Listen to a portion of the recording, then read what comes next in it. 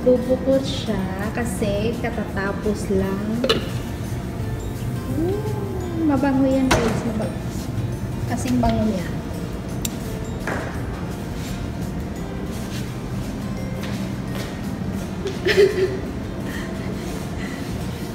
Ayun, kakatapos lang nilang kumain.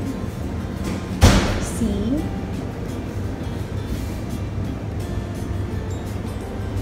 Ito ang natira. Gema.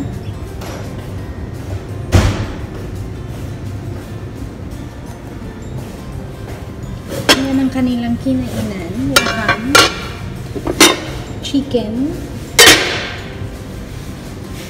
Shurba. Pinaglutuan ng laham. Pinaglutuan gemat. Pinaglutuan sambusa. White rice. Shurba.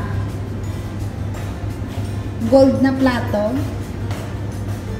Gold na baso. Tapos, meron pa doon guys. Pero kaunti na yan kasi nagugas na ako kanina. So, ayun, maghuhugas na ulit ako guys. Bye!